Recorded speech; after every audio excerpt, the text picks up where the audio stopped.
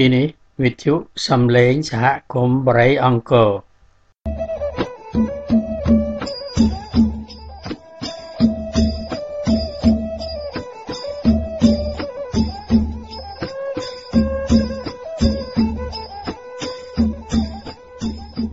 ទីនេះវិទ្យុសំឡេងសហគមន៍បរិយអង្គរ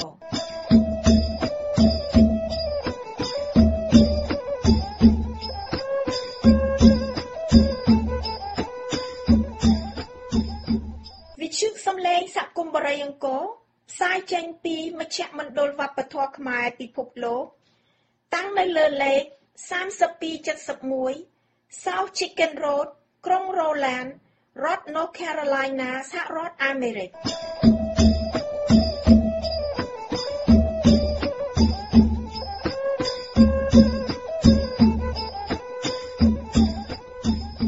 វិទ្យុសំឡេងសហគមន៍បរិយអង្គរ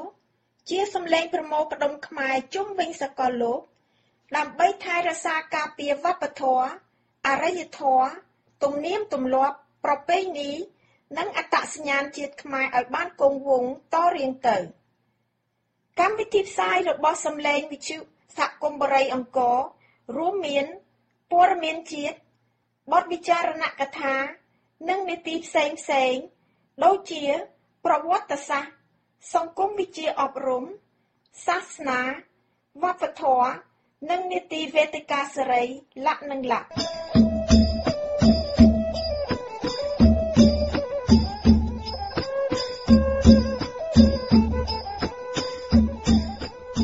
ខ្ញុំប្រកាសណាគិមាតអោកសឿមសូមជូនកម្មវិធីផ្សាយប្រចាំថ្ងៃប្រហោះ2រោចខែបត្របុត្រឆ្នាំរកានពស័កពុទ្ធសករាជ2561 ត្រូវនៅថ្ងៃទី7ខែកញ្ញាគ្រិស្តសករាជ2017កម្មវិធីផ្សាយថ្ងៃនេះរួមមានព័ត៌មានជាតិព័ត៌មានអន្តរជាតិសេចក្តីរាយការណ៍អំពីសកម្មភាពនៅបារ៉េអង្គរនេតិវប្បធម៌អក្សរសាស្ត្ររបស់លោកមុងប៉ាពីយ៉ុងពីរដ្ឋ Illinois ហើយនឹងបិទកម្មវិធីផ្សាយដោយការអានព្រះត្រៃបិដករួចហើយលំដាប់តទៅទៀតនេះក៏សូមលោកអ្នកទទួលព័ត៌មានរឿងជាតិនិងអន្តរជាតិ រាយការណ៍ដោយអ្នកនាងមានសម្បត្តិពីទីក្រុងភ្នំពេញចា៎នាងខ្ញុំសូមអរគុណនៅពេលនេះនាងខ្ញុំសូមជូនព័ត៌មានសំខាន់សំខាន់ប្រចាំថ្ងៃជាមុនសិនតុលាការមិនអោយតំណាងរាជគណៈបកប្រឆាំងជួបលោកកឹមសុខារលកនៃការតវ៉ាទាមទារដោះលែងលោកកឹមសុខាផ្ដើមធ្វើនៅអាមេរិកកម្ពុជាព្រមជួយស្វែងរកឆ្អឹងសាកសពទាហានវៀតណាមវេណេស៊ុយអេឡាថាទនកម្មរបស់អាមេរិកនឹងធ្វើឲ្យប៉ះពាល់ដល់ដំណើរការផ្គត់ផ្គង់ប្រេងទៅកាន់ប្រទេសមួយនេះ កូរ៉េខាងត្បូងដាក់ពង្រាយជើងទម្រនៃខែលការពារមីស៊ីលចំពេលប៉ះទង្គិចជាមួយក្រុមបាតកោអាមេរិកលែងអត់ឱនចំពោះទង្វើរបស់កូរ៉េខាងជើងទៀតហើយ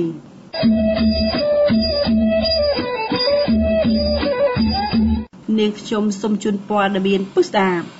តុលាការមិនអោយតំណាងរាជគណៈបកប្រឆាំងជួបលោកកឹមសុខា តុលាការមិនអនុញ្ញាតឲ្យតំណាងរាជគណៈបកប្រឆាំងចូលជួបសួរសុខទុក្ខលោកកឹមសុខានៅពន្ធនាគារត្រពាំង plong ក្នុងសប្តាហ៍នេះទេកាលពីថ្ងៃទី6ខែកញ្ញាឆ្នាំ2017តំណាងគណៈបកប្រឆាំងចំនួន4រូបបានដាក់លិខិតទៅកាន់សាលាដំបងដើម្បីសុំជួបសួរសុខទុក្ខប្រធានគណៈបកប្រឆាំងលោកកឹមសុខាដែលកំពុងជាប់ពន្ធនាគារត្រពាំង plong ខេត្តត្បូងឃ្មុំក្នុងលិខិតចុះថ្ងៃខែដូចគ្នាចៅក្រមស៊ើបសួរសាលាដំបងលោកគីរទ្ធីបដិសេធមិនឲ្យតំណាងរាស្ត្រទាំង4នាក់នោះជួបទេដោយសំអាងថា សំណុំរឿងរបស់លោកកឹមសុខាកំពុងស្ថិតនៅក្នុងដៃតុលាការនៅឡើយនិងកំពុងរកភស្តុតាងបន្ថែមហើយចៅក្រមមិនទាន់បានសាកសួរជនត្រូវចោទនៅឡើយទេលោកកឹមសុខាត្រូវបានតុលាការដំបងសម្រេចចោទប្រកាន់ថាបានខុបខិតជាសម្ងាត់ជាមួយបរទេសក្បត់ជាតិកម្ពុជានិងទៅឃុំខ្លួននៅគុកត្រពាំង plong ជាប់ព្រំដែនប្រទេសវៀតណាម នាយកខតកាល័យលោកកឹមសុខាលោកមុតចន្ទថាបានសរសេរលើ Facebook របស់លោកនៅថ្ងៃនេះថាប្រធានគណៈបកប្រឆាំងត្រូវបានបញ្ជូនឃុំឃាំងក្នុងបន្ទប់ពន្ធនាគារជាមួយអ្នកទោសផ្សេងទៀតស្ថិតក្នុងឯកសណ្ឋានជាអ្នកទោស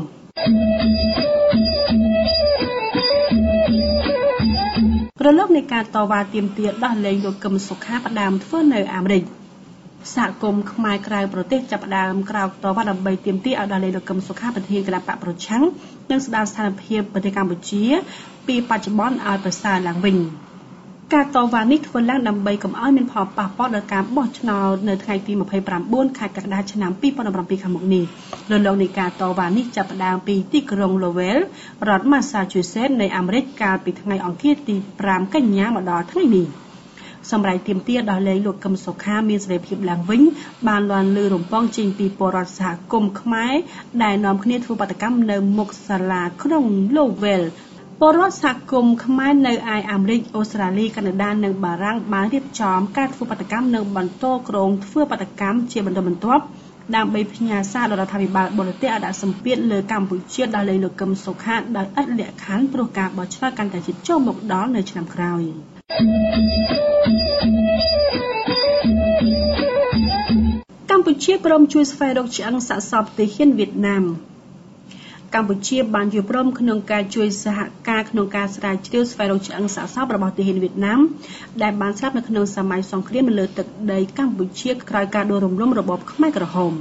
យោងតាមការចុះផ្សាយរបស់សារព័ត៌មានវៀតណាម News បានឲ្យដឹងថា ក្នុងកិច្ចប្រជុំគណៈកម្មាធិការពិសេសកម្ពុជាវៀតណាមកាលពីថ្ងៃម្សិលមិញនៅក្នុងប្រទេសវៀតណាមបានឲ្យដឹងថាភាគីវៀតណាមផ្ដល់ថវិកាចំនួន42,000ដុល្លារដល់កម្ពុជា ដើម្បីជួយស្វែងរកឆ្អឹងសាកសពទាហានវៀតណាមដែលស្លាប់ក្នុងទឹកដីកម្ពុជាក្នុងពេលសង្គ្រាមក្រោយការដួលរំលំរបបខ្មែរក្រហមនៅក្នុងកិច្ចប្រជុំនៅប្រទេសវៀតណាមកាលពីថ្ងៃម្សិលមិញភាគីកម្ពុជាដឹកនាំដោយលោកប៉ុលសារឿនអគ្គមេបញ្ជាការនៃកងយុទ្ធពលខេមរៈភូមិន្ទ ចំណែកឯភាគីវៀតណាមដឹកនាំដោយអនុរដ្ឋមន្ត្រីកម្ពុជាជាតិយោងតាមសារព័ត៌មានវៀតណាមញូគឺឆ្អឹងសាកសពទាហានវៀតណាមជិត4000ទៀតត្រូវបានស្លាប់ក្នុងសម័យសង្គ្រាម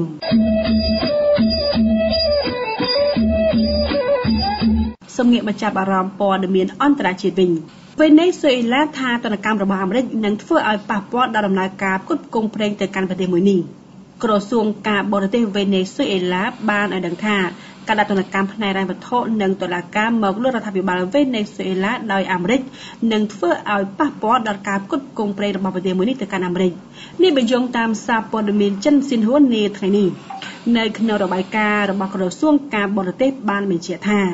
អស់រយៈពេលជិត1ទសវត្សរ៍មកហើយក្នុងនាមជាអ្នកផ្គត់ផ្គង់ប្រេងដ៏ធំបំផុតនិងមានសមត្ថភាពបំផុតចំពោះអាមេរិកប៉ុន្តែអាមេរិកបែរជាដាក់ទណ្ឌកម្មទៅវិញ។ នៅក្នុងអត្ថបទដែលត្រូវបានដឹកនាំដោយពលរដ្ឋអាមេរិកនិងរដ្ឋាភិបាលបានពន្យល់ថា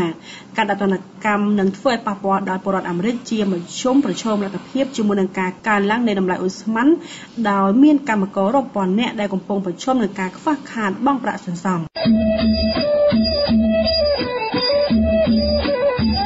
ស្លាប់មនុស្ស164នាក់ក្នុងហេតុការណ៍ទឹកជំនន់រដូវខ្យល់មូសុងនៅប៉ាគីស្ថាន អញ្ញាធរគ្រប់គ្រងគ្រោះមហន្តរាយប៉ាគីស្ថាន បានឲ្យដឹងថាមនុស្សប្រមាណជា164នាក់បានស្លាប់និង167នាក់ផ្សេងទៀតបានរងរបួសនៅផ្ទះ440ខ្នងត្រូវបានបំផ្លាញនៅក្នុងហេតុការណ៍ទឹកជំនន់ភ្លៀងខ្យល់ព្យុះមូសុងចាប់តាំងពីចុងខែមិថុនាឆ្នាំ2017នេះបញ្យងតាមសារព័ត៌មានចិនស៊ីនហួរអញ្ញាធរជាតិគ្រប់គ្រងគ្រោះមហន្តរាយបានឲ្យដឹងក្នុងប្រកាសព័ត៌មានមួយថា ខេត្តភាគខាងត្បូងរបស់ប៉ាគីស្ថាននិងខេត្តភាគខាងកើតបានរងគ្រោះខ្លាំងបំផុតដោយមានអ្នកស្លាប់ចំនួន38នាក់នៅក្នុងខេត្តនីមួយៗភ្លៀងធ្លាក់ខ្លាំងបានធ្វើឲ្យមនុស្សរាប់ពាន់នាក់គ្មានផ្ទះសម្បែងបង្ខំឲ្យពួកគេរស់នៅក្រោមមេឃទាំងប្រថុយនិងគ្រោះថ្នាក់គ្រប់ពេលវេលា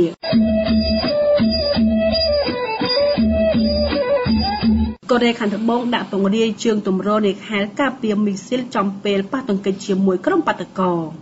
ក្រុមបាតកោបានប៉ះទង្គិចជាមួយកម្លាំងប៉ូលីសរាប់ពាន់នាក់នៅឯភូមិមួយរបស់កូរ៉េខាងត្បូងនៅថ្ងៃនេះគណៈដែលក្រុងសេអ៊ូបានដាក់ពង្រាយទម្រជើងគ្រាប់មីស៊ីល4គ្រឿងនៅប្រព័ន្ធប្រឆាំងមីស៊ីលរបស់អាមេរិកដែលត្រូវបានរៀបចំឡើងដើម្បីទប់ទល់នឹងការគំរាមកំហែងឥតឈប់ឈរពីសំណាក់កូរ៉េខាងជើង Reuters បានចុះផ្សាយថា ក្រសួងការពារជាតិកូរ៉េខាងត្បូងបានបញ្ជាក់កាលពីថ្ងៃម្សិលមិញថាជើងទម្រទាំងនេះនឹងត្រូវបានដំឡើងនៅលើអតីតទីលានវាយកុនហ្គោលមានចម្ងាយប្រហែលជា217គីឡូម៉ែត្រភាគខាងត្បូងទីក្រុងសេអ៊ូលជើងទម្រ2គ្រឿងនិងរ៉ាដាដ៏ខ្លាំងមួយគ្រឿងត្រូវបានដាក់បញ្ឈររួចរាល់ហើយនៅទីតាំងនោះជាផ្នែកមួយនៃប្រព័ន្ធការពារដែនអាកាសរបស់អាមេរិកហៅកាត់ថា TAWAD កាលពីថ្ងៃច័ន្ទកន្លងទៅនេះប៉ូលីសកូរ៉េខាងត្បូងប្រហែលជា8000នាក់បានឈរជើងនៅក្នុងភូមិមួយនៅតាមផ្លូវចូលទៅកាន់ទីលានវាយកុនហ្គោនោះដើម្បីទម្លាយរបាំងរបស់អ្នកភូមិប្រហែលជា300នាក់និងក្រុមអង្គការសង្គមស៊ីវិលដែលជំទាស់ទៅនឹងប្រព័ន្ធខែលការពារមីស៊ីលនេះក្នុងការប៉ះទង្គិចគ្នានោះក្រុមបាតកោប្រហែលជា38នាក់បានរងរបួសនិងក្នុងនោះ21នាក់ត្រូវបានបញ្ជូនទៅកាន់មន្ទីរពេទ្យតែមិនប៉ះពាល់ដល់ជីវិតទេ លោកត្រាំប្រកាសថាអាមេរិកលែងអត់ឱនចំពោះទង្វើរបស់កូរ៉េខាងជើងទៀតហើយប្រធានាធិបតីអាមេរិកលោកដូណាល់ត្រាំបានពមៀននៅថ្ងៃនេះថាអាមេរិកនឹងមិនអត់ឱនឲ្យទង្វើរបស់កូរ៉េខាងជើងទៀតទេប៉ុន្តែលោកថាការប្រើប្រាស់កម្លាំងយោធាប្រឆាំងនឹងទីក្រុងភ្ជុងយ៉ាងមិនមែនជាជំរើសទី1របស់លោកនោះទេ Reuters បានស្រង់សម្ដីរបស់លោកត្រាំស្របគ្នាទៅនឹងអ្វីដែលលោកត្រូវបានឡើងថ្លែងទៅកាន់សភាអាមេរិកដែលក្នុងនោះទីប្រឹក្សាសន្តិសុខជាតិអាមេរិកទាំងអស់សុទ្ធតែសង្កត់ធ្ងន់ពីការស្វែងរកដំណោះស្រាយចំពោះវិបត្តិមួយនេះមន្ត្រីជាន់ខ្ពស់មួយរូបក្នុងរដ្ឋបាលរបស់លោកត្រាំបាននិយាយថា សេរីមានកំពុងតែពិចារណាអំពីការចាក់ចេញពីកិច្ចព្រមព្រៀងពាណិជ្ជកម្មសេរីជាមួយកូរ៉េខាងត្បូងបញ្ហានេះអាចបណ្ដាលមកពីភាពចម្រូងចម្រាសរបស់លោកត្រាំក្នុងទំនាក់ទំនងជាមួយនឹងទីក្រុងសេអ៊ូល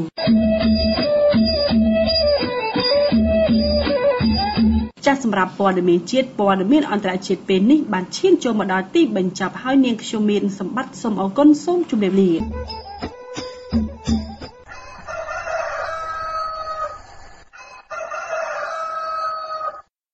បាទលោកអ្នកនាងមានតែស្ដាប់ជាទីគោរពរាប់អានមុននឹងធ្វើសេចក្តីរាយការណ៍អំពីសកម្មភាពនៅបរិង្គោខ្ញុំបាទសូមធ្វើបទពិចារណាកថាឬក៏សេចក្តីសង្កេតក្នុងឋានៈដែលជាចាស់ម្នាក់ដែលបានរស់នៅគ្រប់កាលសម័យតាំងពីសម័យអាណានិគមរហូតដល់សម័យឯករាជ្យនិងសម័យសាធារណរដ្ឋនិងសម័យសម័យតមកទៀតបាទដែលបានរស់នៅដែលបានដឹងរឿងរ៉ាវហើយក៏សូមធ្វើសេចក្តីសង្កេតដូចតទៅ ហេតុអ្វីបានជាខ្មែរយើងចូលចិត្តអឺទៅខាងចិនសម្បើម្លេះបាទចំបាទក៏មិនដឹងដែរប្រហែលជាគេចង់ក្តាប់អំណាចដូចជា ប្រទេសកុម្មុយនីសទាំងអស់ប្រទេសកុម្មុយនីសទាំងឡាយគឺគេតែងតែក្តាប់អំណាចនៅជារហូតដូចជាគឹមអ៊ីលសុងគឹមជុងអ៊ីលគឹមជុងអ៊ុននៅជាដើមនឹងតពូជតពងគេចង់ធ្វើយ៉ាងហ្នឹង ពីព្រោះថាគេធ្វើកុម្មុយនីសយ៉ាងហ្នឹងពាក្យថាកុម្មុយនីសមកពីពាក្យថាកុំមានឬកុំម៉ងគឺថាឲ្យស្មើគ្នាស្មើស្មើគ្នាទាំងអស់ក៏ប៉ុន្តែកុម្មុយនីសមិនដែលស្មើទេ គឺវាលើសពីខាងលោកសេរីទៅទៀតដែលគេហៅថាស្អីមូលធននិយមលើសពីនឹងទៅទៀតគឺថាធនទាំងឡាយវាធ្លាក់ទៅលើអ្នកដឹកនាំហើយនឹងក្រុមបពពួករបស់គេតែប៉ុណ្្នឹងទេ ចំណែកខាងរាជប្រជា គឺនៅក្រលហេមលហាមជានិច្ចបាទពួកទេសចរទៅទេសនាប្រទេសចិន គេនាំបង្ហាញតែកន្លែងណា ដែលគេធ្វើឲ្យរីកចម្រើន កន្លែងណាដែលគេចង់បង្ហាញឃើញថាគេលូតលាស់ធំស្កើងមែនចំណែកខាងចិនស្រែចម្ការបើបានកង្កែបមួយនឹងដូចបានមន់អាំងចឹងបាទនេះទៅតាមសេចក្តីរាយការណ៍របស់ ខ្មែរចិនដែលបានទៅលេងនៅបងប្អូននៅឯស្រុកចិនឯណោះគឺថារាជចិននៅតែរហេមរហាម នៅតែគេដណ្ដើមយកដីធ្លីដូរទៅនៅស្រុកខ្មែរអញ្ចឹងនេះហើយជារបបកុម្មុយនីសហើយនេះហើយបានជាគេចង់ក្តាប់អំណាចគេចង់រស់នៅជាគ្រួសាររបស់គេដូចជាប្រទេសចិនក៏ប៉ុន្តែយ៉ាងហោចណាស់នៅប្រទេសចិនគេបានផ្លាស់ប្ដូរ រដ្ឋមន្ត្រីទី1ទី2របស់គេ ចំណែកខ្មែរយើង គឺមិនផ្លាស់ប្ដូរទេពីព្រោះខ្មែរយើងវានៅក្របខ្លាចបាក់អំណាចតាំងពី1000ឆ្នាំមកនឹងបើថាងប់ទៅណាណាហើយទៅនឹងទាំងស្រុងទោះបីដឹកនាំទៅចូលរួមក្តាមក៏ទៅដែរយើងឃើញហើយអតីតកាលរបស់យើងមេដឹកនាំរបស់យើងទៅចូលកុម្មុយនីសចូលរហូតដល់ទទួលទានបបរមួយសាព្រាម្នាក់តើពេលនេះនឹងបានអ្វីទទួលទានទៅទៀត បើរ៉ែក៏អស់ព្រៃឈើក៏អស់ស្អីក៏អស់ហើយហ្នឹងគឺថាវាដំណើរទៅរកឈ្មោះសេចក្តីវិនិច្ឆ័យអន្តរាយហេណោចក្លោចផ្សារគេក៏នឹងបញ្ចូលជាតិចិនឲ្យមករស់នៅស្រុកខ្មែរគេនឹងបញ្ចូលជាតិយួនមកនៅស្រុកខ្មែរខ្មែរក៏នឹងរលាយផុតពូជតរៀងទៅហើយនេះហើយតើយើងនឹងធ្វើយ៉ាងម៉េចយើងខ្ញុំសង្ឃឹមថាខ្មែរមិនស្លាប់ទេពីព្រោះវិជាតិស្លាប់ហ្នឹងវាច្រើនដងណាស់ទៅហើយក៏ប៉ុន្តែពេលនេះ ថាមិនត្រូវដែរបាទពីព្រោះថាគេកាត់នេះគ្នាគ្នាអត់ហើយយើងជាខ្មែរនៅតែខ្មែរមកកវិចនៅតែមកមកទូកប៉ុណ្ណឹងទេបាទហើយនេះហើយសូមមេត្តាបងប្អូនខ្មែរទាំងអស់ជ្រាបថារបបកុម្មុយនីសគឺមិនដែលជ្រុលទេមិនមានអ្វីចម្រើនដល់ប្រជារាស្ត្រទេមានតែពួកអ្នកកាន់អំណាចនិងក្រៅគ្រួសាររបស់គេហើយនឹងបពុះរបស់គេតើយើងគិតយ៉ាងម៉េចទៀត សូមគិតពិចារណាដោះស្រាយទាំងអស់គ្នាផងចុះសូមអរគុណ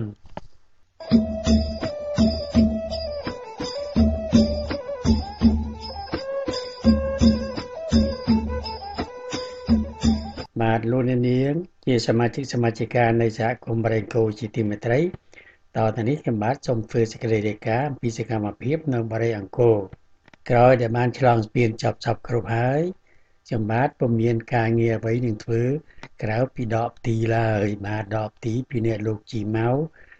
ទាំងពីរអ្នកចុះទៅពីម៉ោង8ព្រឹកដល់ម៉ោងជិត10វាបែកញើសខ្លាំងពេកបែកញើសប៉ិនប៉ិនក្របពូតអាមេរិកាំងស្រក់តាមច្រមុះស្រក់តាមមុខតាមវត្តទឹកជោគអាវជោគខឡើងរងាហើយក៏មកសម្រាប់សម្រាប់ខ្ញុំបាទសម្រាប់រហូតទៅ លោកជីម៉ៅលោកនៅក្មេងលោកមានកម្លាំងលោកក៏ដកថតទៀតម្នាក់ខ្ញុំបាទតែដកទាំងគឺចង្កេះទៅដកទៅដូចជាបាត់ទៅវិញបាទពាក្យយើងខ្ញុំបាទចេះបន្ទោសថាខំឲ្យខំលេះគ្មានអ្នកណាគេអបអសាទរទេបើវិញចឹងនោះគេមានអ្នកណាគេជួយអឺឈឺយើងទេខ្ញុំបាទក៏ឆ្លើយតែគំរគំរើថាជើរឿងឈឺមានអ្នកណាគេជួយឈឺអ្នកណាខ្លួនអ្នកណានៅនឹងឈឺតើ មានអ្នកណាចែកឈឺគ្នាបានអត់បានទេបាទហើយនេះខ្ញុំក៏ត្រូវតែជឿតម្លាក់ខ្ញុំទៅវាមានទោះខុសអីបាទបាទចេះតែឆ្លើយឆ្លើយទៅបាទឲ្យទៅរួចខ្លួនពីព្រោះថា ការចង់ឲ្យដំណាំដាំដុះបានល្អគឺយើងក៏ចេះតែខំចឹងទៅនឹងអង្គុយមើលក៏មើលមិនកើតបាទនេះជាការងារបន្តបញ្ចំរបស់ខ្ញុំបាទប្រចាំថ្ងៃរួចចាប់ពីម៉ោង2ភ្លៀងដូចជាចាក់ទឹកភ្លៀងហើយភ្លៀងទៀតចំនួន2ម៉ោងឯណោះ ទល់តែម៉ោង4កន្លះទៅក៏ល្ងាចស្ទុំស្ទុំភ្លៀងរយរយហុយហុយតមកទៀតរហូតបាទហើយក៏ស្ងាត់បាត់ទៅយប់ជ្រៅក៏ទទួលទានដំណេកតែប៉ុណ្ណឹងក្រោកឡើងម៉ោង4ចាប់ធ្វើសេចក្តីរាយការណ៍នេះឡើងបាទតើគ្មានអ្វីចម្លែកទេខ្ញុំបាទក៏សូមថ្លែងអំណរគុណចំពោះលោកអ្នកដែលបានតែ3នាក់ទេ ផ្ញើសម្បត្តិមកជួយក្នុងប៉ុននេះគឺលោកកាត់សានពីរដ្ឋ Virginia លោក Holly កតាពើពីរដ្ឋ Virginia ពីក្រុងបញ្ញូរីគ្នាហើយនឹងលោកចានីមចារាំងពីរដ្ឋ California បានមានតែ3នាក់ទេបូកសរុបទៅ220ដុល្លារបាទបានតែប៉ុណ្្នឹងទេបាទសូមមេត្តាជួយជួយបន្តទៅទៀតយើងខ្ញុំនៅតែមូលតកោគ្នាខំមាត់ខំស្មៅ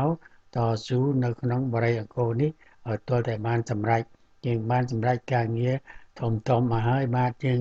ដល់គោលការណ៍រៀបនឹងចាប់អឺធ្វើវត្តភ្នំហើយបាទចាំអាណត្តិតទៅក្រោយទៀតលោកអ្នកលោកអ្នកណាទទួលធ្វើជាប្រធានក៏នឹងចាត់ចែងរៀបចំធ្វើវត្តភ្នំបាទហើយយើងក៏នឹងរៀបចំអឺបោះឆ្នោតឬរើសប្រធានសាជាថ្មីបាទខ្ញុំបាទមើលទៅវាចាស់ហើយក៏នឹងសូមលា ប៉ុន្តែលាមិនទៅណាទេលានៅតែក្នុងបរិយអង្គរនេះបាទនៅមិនទៅណានេះក្រាញខំស្មៅពីព្រោះជាគម្រោងការដ៏វែងអន្លាយដ៏ធំធេងវែងអន្លាយរបស់យើងនេះវាមានប្រយោជន៍សំខាន់សម្រាប់ខ្មែរទាំងអស់គ្នាបាទលុះត្រាតែជាមួយខ្សែទើបលះបង់វាចេញបាទសេចក្តីរាយការណ៍របស់ខ្ញុំបាទពុំមានអ្វីប្លែកទេយើងខ្ញុំសូមអញ្ជើញលោកអ្នកចូលរួមរួមសាមគ្គី ព្រោះដែរគ្នាឡើងប្រោកទេនោះក៏គិតស្រុកទេនេះក៏គិតត្រូវគិតទាំងពីរកុំគិតបោះបង់មួយចោលមួយបាទអ្នកខ្លះតាំងខ្ញុំគិតអឺដូចជាទៅមិនរួចទេមិនបានទៅជួយ ធ្វើនេះធ្វើនោះខ្ញុំបាទថាมันបាច់ទេពីព្រោះសមាជិកយើងច្រើនភាគច្រើនដូចជានៅកាណាដា នៅបារាំងនៅអ៊ីតាលីនៅអាល្លឺម៉ង់នៅស្វីស័រឡែននៅស្វីស នៅបែលហ្សិកនៅណ័រវេនៅណាហ្នឹងអ្នកទាំងអស់ហ្នឹងគ្មានពេលទៅមកជួយដែរវិចារណាមកគឺគណៈកម្មការប្រតិបត្តិរបស់យើង ជាអ្នកទទួលធ្វើការពេញកម្លាំងចំនួន4ឆ្នាំមកហើយបាទលោកអ្នកមិនបាច់ខ្វល់ខ្វាយទេបាទហើយនេះហើយបានថាសូមជួយតែបច្ច័យក៏បានហើយបាទ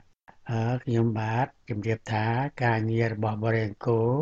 គឺយើងត្រូវការតែអ្នកចាំផ្ទះ ប៉ុណ្ណឹងទេបាទបើលោកអ្នកឯណាជាចូលនិវត្តន៍ហើយទទួលឬក៏អ្នកទទួលទានអឺប្រាក់លួងប្រាក់ស្លាច់ហៅថា welfare នោះហើយទំនេរក៏លោកអ្នកអញ្ជើញមកជួយចាំផ្ទះយើងខ្ញុំបានបាទព្រោះថាអឺមិនត្រូវការលោកអ្នកឲ្យ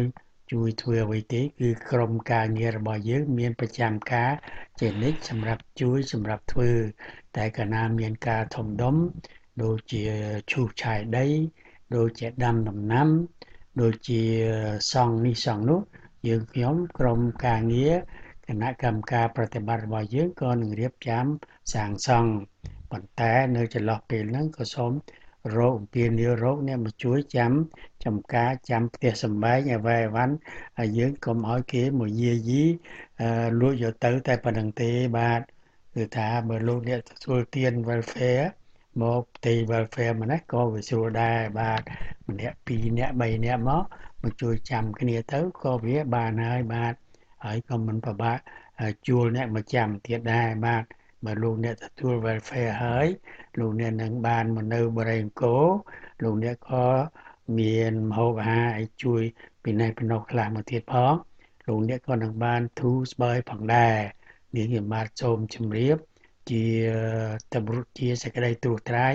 នៅកម្មវិធីរបស់យើងខ្ញុំបន្តទៅទៀត